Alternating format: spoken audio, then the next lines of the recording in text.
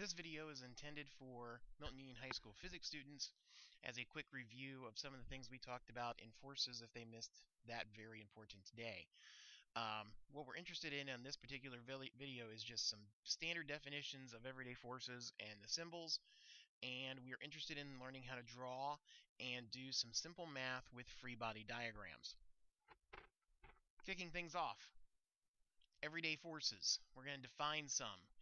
Uh, force of gravity, which is defined as the weight of something. We can abbreviate that as F sub g.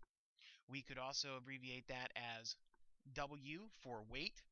And there is a formula that defines weight.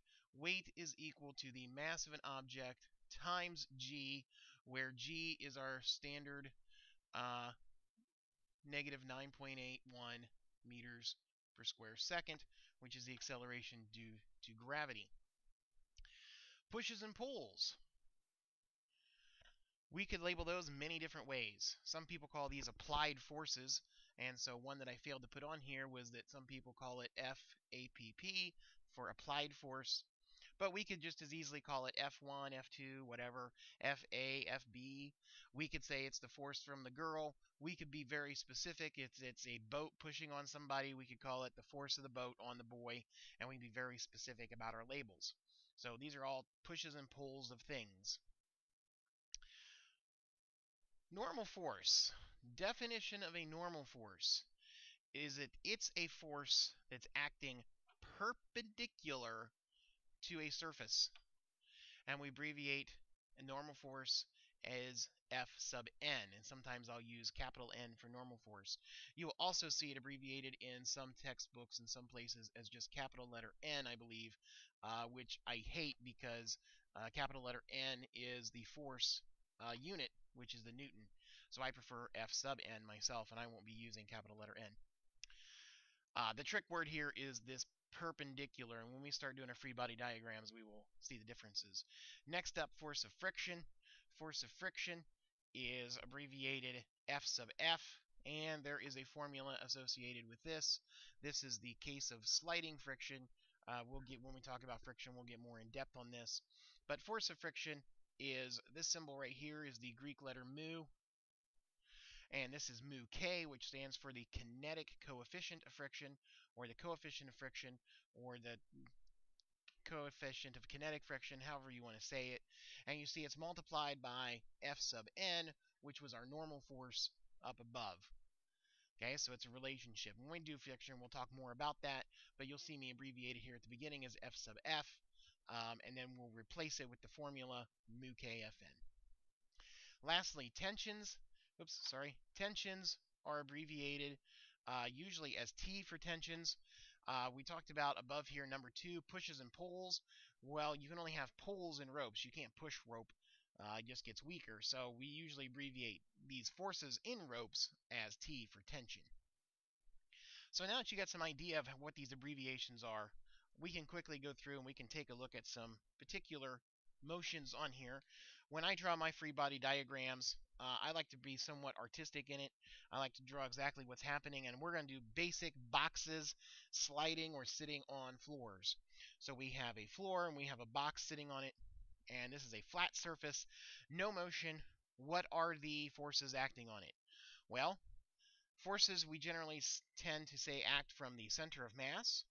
And so one force you can always say is acting on something, and it's acting down, is called force of gravity, which we can call Fg. We could also label it as W. And you'll see me labeling it most of the times, instead of all of that, I'll just simply label it as mg, because that is the expression that we use for the weight of an object. So I'll write mg most of the time. So if something is sitting on a horizontal surface, if that was the only force uh, working on it, it'd be moving down. So the surface, this surface right here is applying a force on that object that's pushing up. And you notice this force is perpendicular to the surface. This is a 90 degree angle. That force then is the normal force, Fn. And here we got the forces acting on something that's simply sitting on a flat surface. Now we can do some math with this. And the math we're talking about is called summing forces. Um, this is the uh, Greek letter sigma, and sigma stands for sum. It's just the fancy way of saying we're going to add some stuff up. And we say we're going to sum the forces, and we got to be specific about the direction that we're summing forces in. In this particular case, the normal force and the weight are acting in the y direction. There are no forces acting in the x direction, so we say sum of the forces in the y direction. This right here is just a label of what we are doing. And so we're saying the sum of the forces is equal to what? Well, by convention, as you've been taught, we're going to use up as positive and down as negative. And so we say normal force up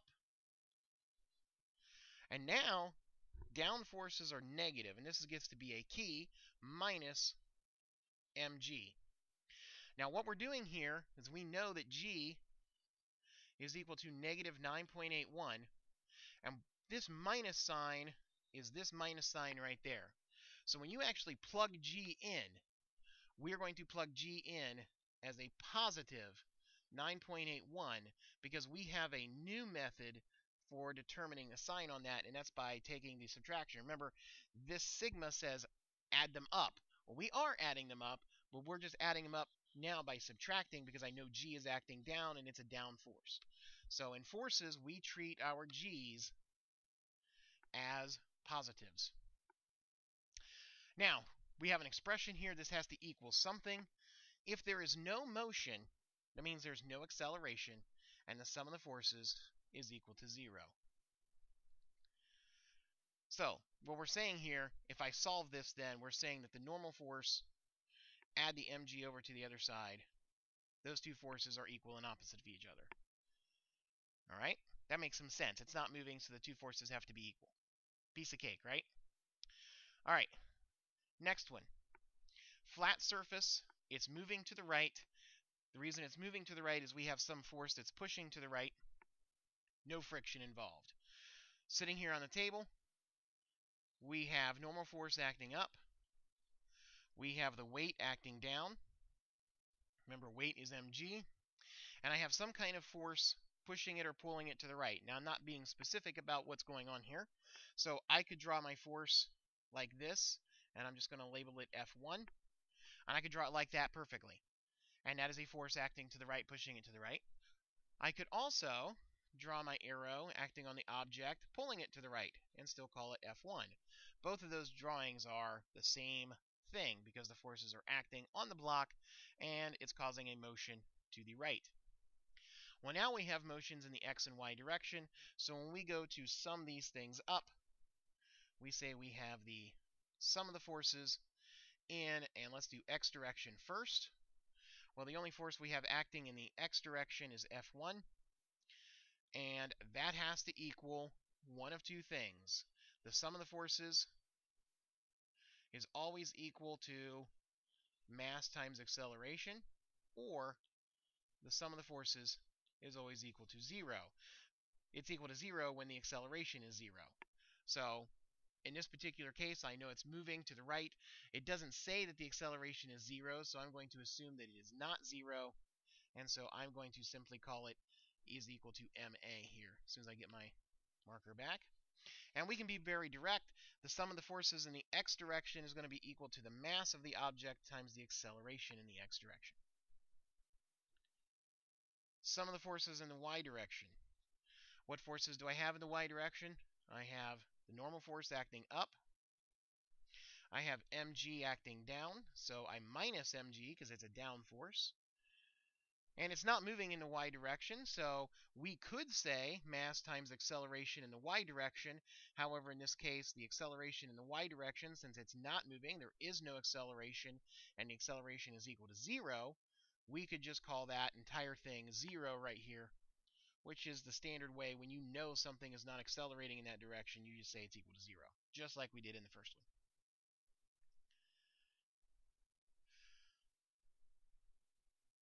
Next scenario, we have a flat surface moving right. This time we have friction on it.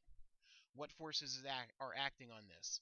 Uh, now I'll show you, sometimes I don't always draw my forces acting from the center, which you probably always should, but I'll draw it like this just because I'm prone to do that from time to time. Normal force acting up. mg acting down. And the reason I don't draw it from the center of mass is sometimes I write information inside the box, like the mass of the box is 10 kilograms. And so that'll gunk everything up for me. So as long as we know what's going on, we're okay. That was a pretty lousy G I drew over there, so we'll write that better. mg. What other forces do we have? Well, it says it's moving to the right. So I'm going to draw my arrow like this this time. I'm pushing on this box with a force, and I can label it anything I want to. So I'm going to label it force A, pushing it to the right. Now this time this has friction with it, and we got to think, well, if we're pushing the box to the right, which direction is friction acting on us? And friction must be acting to the left because frictional forces oppose the motion, and we call that F sub F. Now I realize I wish I wouldn't have drawn my force A on the left side like I did. I wish I would put it over here on the right side, but such is life. And now I got a picture like this. Summing forces. Oops. Force in the x direction. Sum of the forces in the x direction. Well, what forces do I have? I'm going to go my positive forces first. So my positive force is F A minus, going to the left, is my force of friction. And that's going to equal my mass times my acceleration in the x direction. And if I knew the mass of the box and I knew some information about the forces, I could figure out what the acceleration is. Um, the acceleration could also be zero. If the acceleration is zero, there's two things going on. Either the box is moving at a constant velocity or the box is stationary. But I um, don't know that yet, so we'll just set it up in the default. Sum of the forces in the y direction. Well, I have the normal force. We've done this now for the third time. Minus mg. We know it's not accelerating or moving in the y direction, so the sum of the forces is equal to 0. Flat surfaces taken care of. I'm going to stop this video production, and we'll call this part 1, and we'll have a part 2 version of this in uh, updated on YouTube soon. Thank you.